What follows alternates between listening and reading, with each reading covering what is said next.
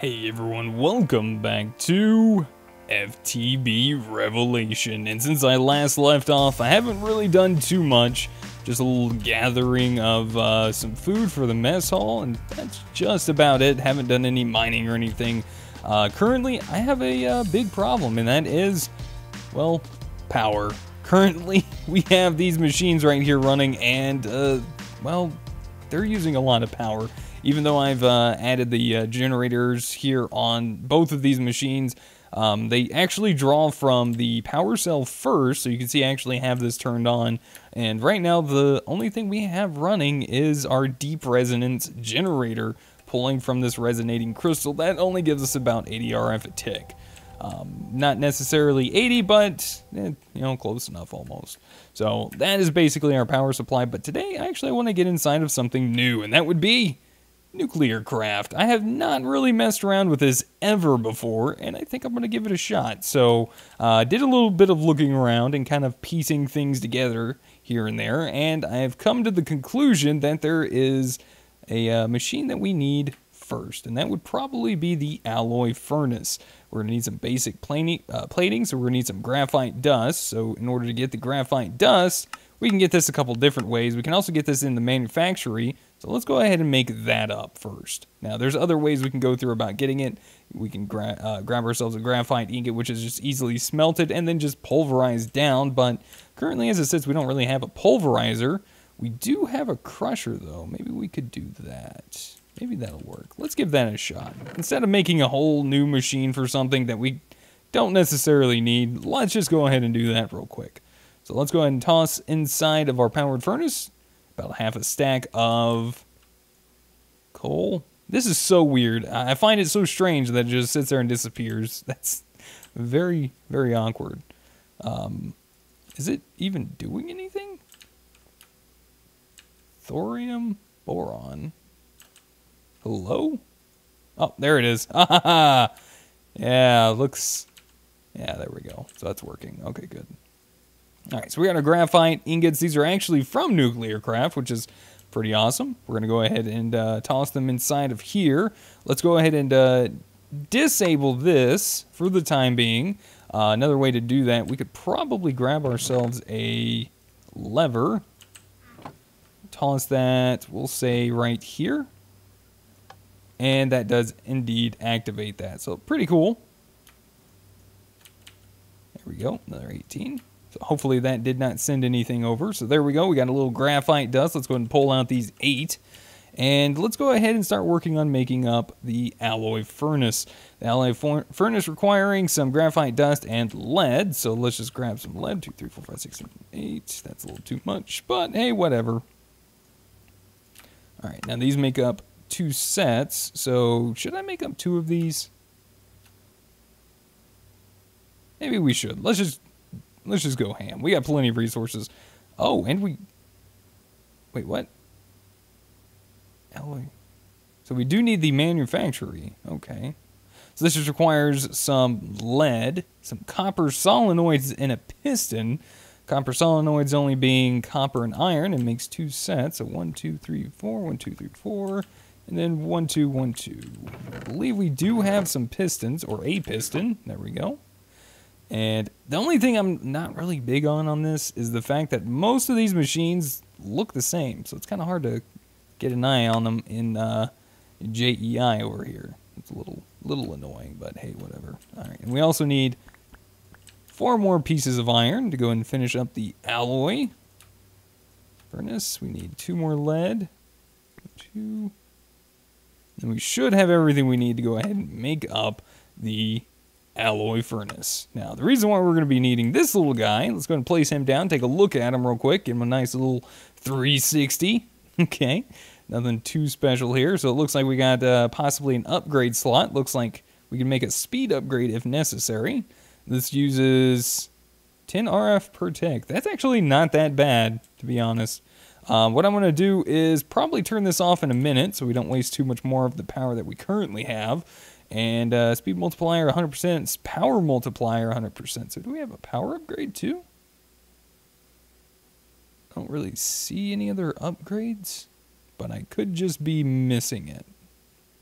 unless they look completely different. I don't know if this takes more than one or if it can just only take one, but uh, looks pretty simple to make. So let's go ahead and make up one of them at least just to kind of see what it does for us.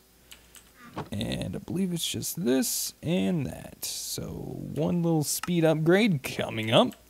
Right click on it. Okay, doesn't actually apply, but there we go. So speed multiplier of 200%, power multiplier of 300%. Wow. So you get double the speed and cost three times the power. But that's not too bad considering it's only 30 RF a tick. Um, maybe we should take a look though. I'm kind of curious to see if we can stack them. So just for science sake, I'm just going to go ahead and see if that is indeed the case.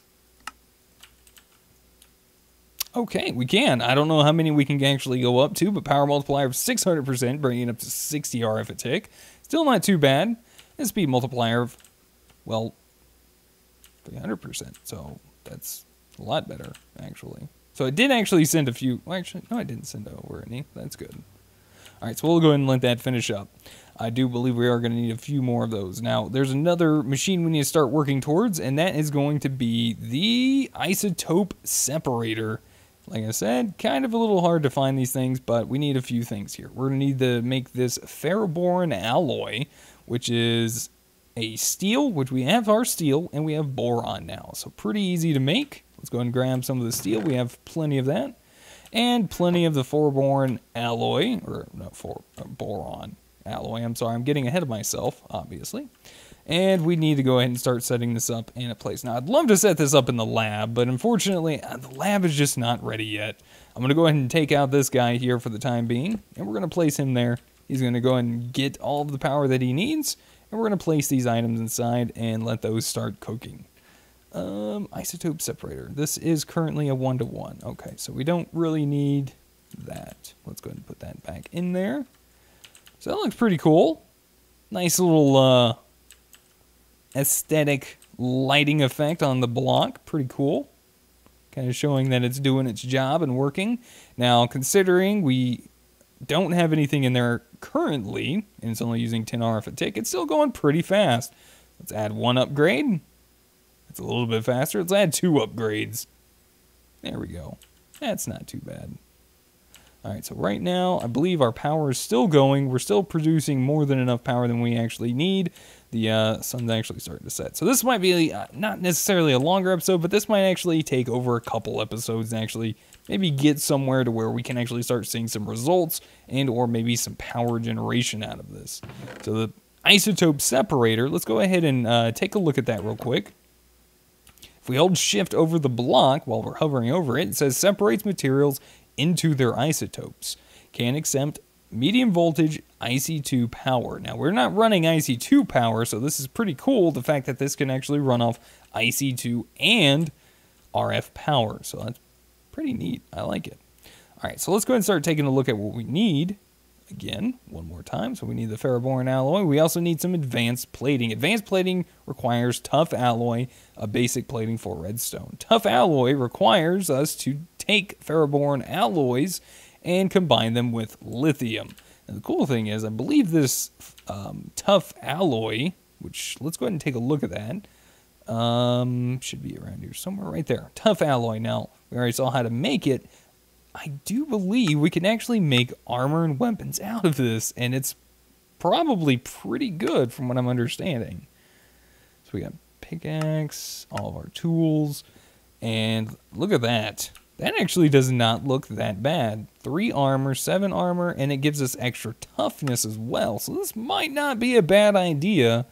Portable ender chests. Oh, that's kind of cool. Also, uh, music discs. So we might actually upgrade to that, because that is definitely better than what we currently have armor-wise. Let's also go and sleep through the night real quick while that's finishing up. So yeah, if we get a little extra of that, which we probably have enough stuff to make, maybe a good idea to go ahead and do that. All right, so a little graphite dust. We're going to hold on to this. We might need this in the near future. We also have some basic platings that we are going to need to make our advanced platings, which is wonderful. So let's go ahead and grab our other resources we're going to need. We're need some uh, redstone, and I believe we have lithium up here somewhere. Which one of these is lithium? Is it this one? That's titanium. Or did I not put lithium in here? Iridium's nice. That's wonderful. Wait, thermal foundation. What?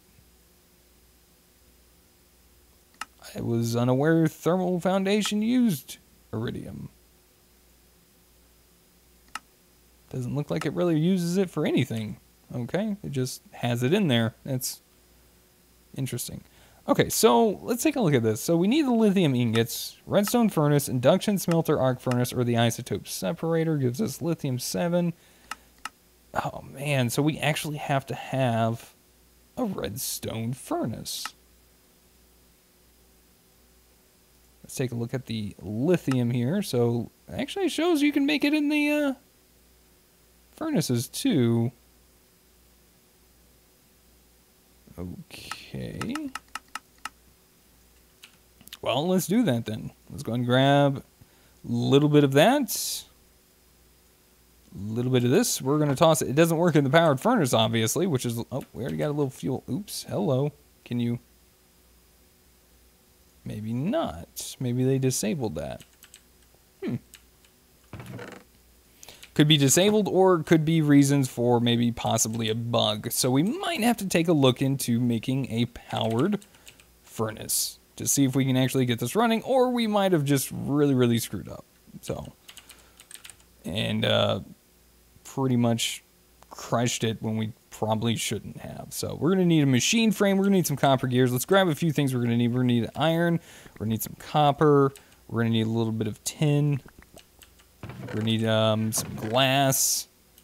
I'm just kind of used to some of these um, recipes. I'm just going to grab a little extra of everything. Got the redstone on us. Um, I believe we're also going to need bricks. Do I still have any bricks made?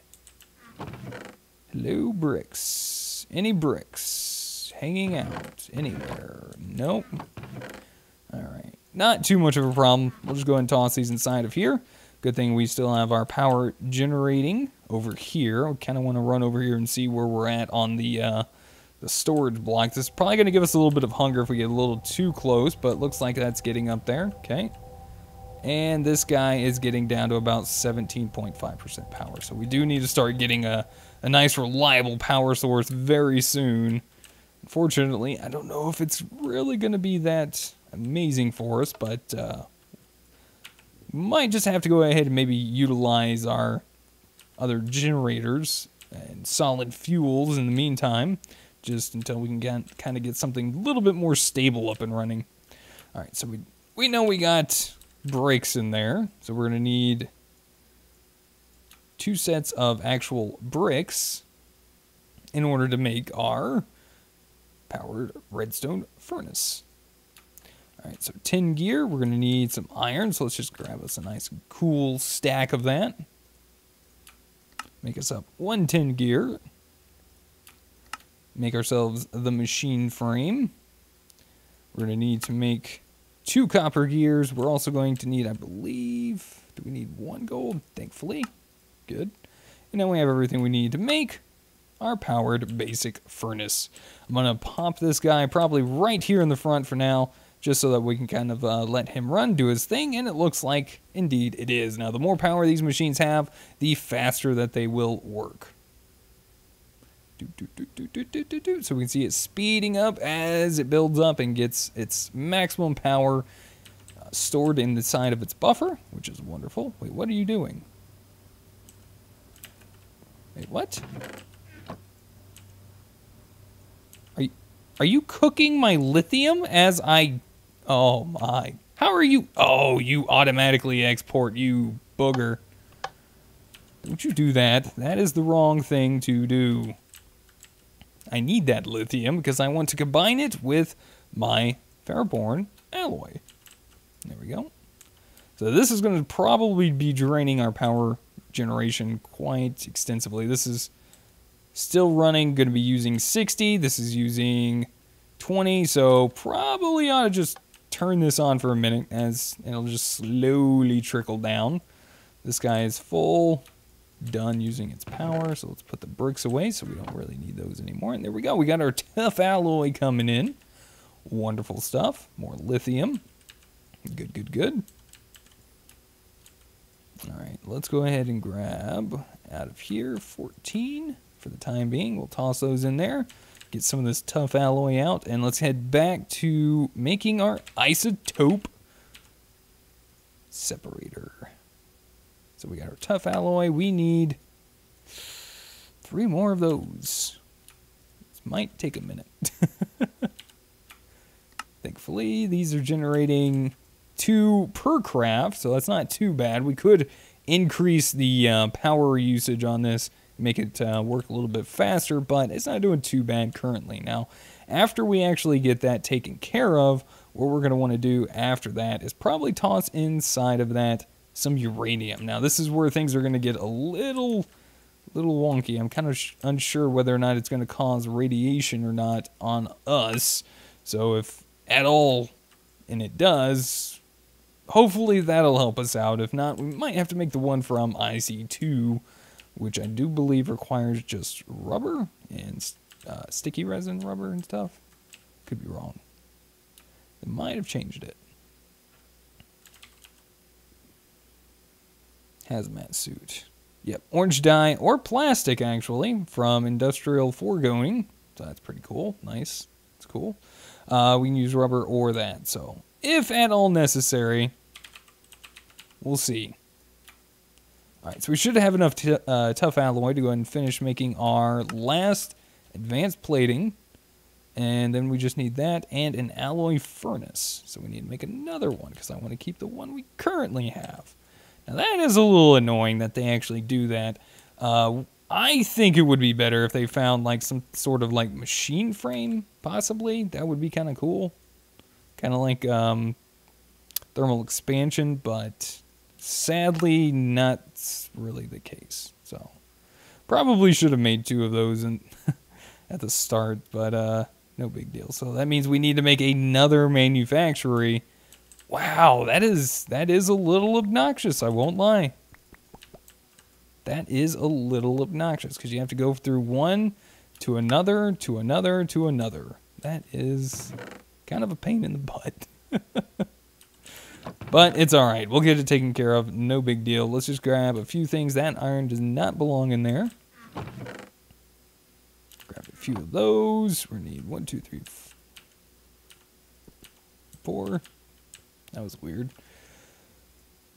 The clicking clackety doesn't always want to seem to work every time, or sometimes it wants to work too much. So we need a little bit more lead. One, two, three, four. There we go. So there's the manufactory. We have everything to make the alloy furnace again, and everything to make our isotope separator. So this separates them into their isotopes. I'm going to go ahead and let that finish running. This has got us a little bit more lithium. We're going to pick this up. It retains its power, so we don't have to worry about being wasteful there. Let's go ahead and switch this off for the time being. Place this guy down here and take a look inside of our isotope separator. Now, if I'm not mistaken, we need to take a uranium ingot, place it inside of here, and slowly but surely, it's going to be doing some work for us. Let's go ahead and pull out these speed upgrades and everything else as that is done processing for us. And we'll see that this is using now 60 RF a tick and a little bit faster. So we're going to take a look at what this actually does to our uranium. So it separates it into uranium-238, an isotope of uranium, and gives us a tiny clump of uranium-235. Okay, pretty cool. I believe now we might need to maybe look at maybe making let's see let's go to uh, at nuclear craft. Smelts items very quickly uses uranium and thorium ingots and dust as fuel. Hmm. Okay dissolver, salt mixer, pressurizer, superconductor, melter. Fusion core. This is a central part of a multi-block fusion reactor. The core needs to have a ring of fusion electromagnets around it simultaneously, connected by four sets of fusion reactors on all four sides. The ring, which is a square, needs to be hollow. It does not require those. Holy crap. So now we're actually kind of getting into not only more things, but now we're actually getting into more chemical and uh, very complicated sciences, which is wonderful and just kind of fits everything that I've been wanting to do. So these little guys are kind of cool. So we got the um, RTGs here. Now these RTGs are pretty awesome. So we can see that uh, requires a few items here. Mericum, Merici, Mericium 241. And this is made by the fluid infuser? Where do you get that though? Okay, that's the oxide. So where do you get the oxide? The oxide comes from this, but you have to have this in order to get that. So that's that doesn't make any sense. So the wonderful things about these little blocks here, I'm sure they're radioactive in some form or way, uh, but they produce constantly the amount that they uh, they show there. So we kind of wouldn't mind getting some plutonium, but the plutonium is not really showing a reliable way of how to obtain that. It just kind of keeps going back and forth into that loop. So we need to figure out what it is, unless they took it out of here where you can't use those, which might be the case, or I just kind of might be missing. Like I said, I'm very new to this mod, so I'm just kind of learning along the way as well. Maybe showing you guys some new things or mistakes that I might be making. So, produces 10 millibuckets of helium constantly. Cobblestone generator. Oh, that's interesting. And nitrogen collector. Okay. All right, guys, I'm going to go ahead and take a quick one-two break. I'm going to hold on to this real quick. I want to see something. Alright, so it doesn't seem to really be causing any radioactive spill onto us, which is a good sign. Um, but I'm going to take a quick little break, and uh, I'm going to kind of look through over here and just kind of see what maybe our next step is going to be after uh, making our isotope separator. So we'll be back here in just a second. Alright guys, and we're back. So I did a little looking around over here, and it seems like... Um, probably just kind of guessing here. Um, if we're going to want to get into any type of like power source and generation here, I believe we're going to be needing a fission controller so that way we can start working on actual fission power possibly. So it says uh, under the fission controller, it says build a multi-block reactor. So, you know, fission reactor using reactor casing, reactor cells, coolers, and graphite blocks. Place the controller along at the edge of a corner or within one of the faces of the structure. Emits EV. oh gosh. IC2 power. Jeez. All right. So in order to make this, we're actually going to need to make the nuclear furnace. So actually, I've been actually a little curious about this guy anyway already. So in order to make this, we're going to need our tough alloy, a furnace, and some basic platings. So thankfully, we got our basic platings already. We got some uh, tough alloy. We just need to make ourselves a furnace. So I'm actually going to leave those furnaces over there. Um, now, I'm actually doing this not really to get the fission controller yet, mainly because I kind of want to see how well this nuclear furnace actually works. I kind of like the way it looks for one. It says it actually runs off. Um, says it runs off. Something it uses uranium and thorium ingots and dust as fuel. So we have. Where's our thorium? Where's the thorium? Magnesium, boron. There's there's thorium. We have 44 of those and 37 of our uranium. We have a little bit of uranium in yellorite Now, if I'm not mistaken, if we take this yellorite, um, I'm actually going to pick up our isotope separator currently. I'm wondering actually a little bit if it retains power. It does not, so that's a little unfortunate. We lost some power there, but if we toss inside of here our yellorium, I believe this actually converts us into uranium. Nope, it doesn't. Unless this cooks it into uranium, because I believe I have done that before. Let's take a look over here. So 30, yep. So once, even though it's in uh, yellorium dust, once it's smelted inside of our powered furnace here, it actually converts it into uranium. Pretty cool. I kind of like that. So let's grab a few pieces of uranium. I'm actually a little curious about this. So we got our uranium ingots in here. Um, let's actually only put one. And I want to see if it can actually smelt and how quickly it smelts. It's full stack of cobblestone. Holy crap, that is actually pretty fast. Now, how useful and how long does our uranium last for? We'll see how many blocks that it can actually cook up with one uranium, and it looks like half a stack. Nice and easy. That's not too bad. Plus, that looks kind of cool. I like the block. Not too bad. Alright guys, well I think that is a good start for today, getting started inside of Nuclear Craft.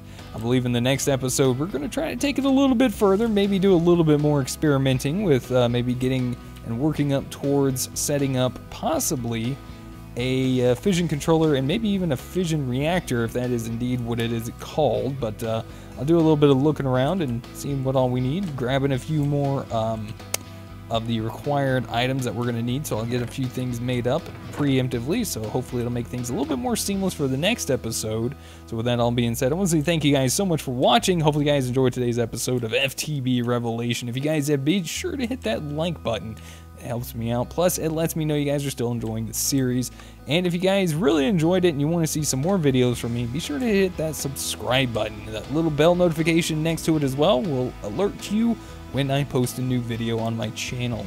And so, with that all said and done, um, if you guys have any helpful tips, tricks, or comments, feel free to put them in the comment section down below, and I'll see you guys in the next episode. Until then, goodbye.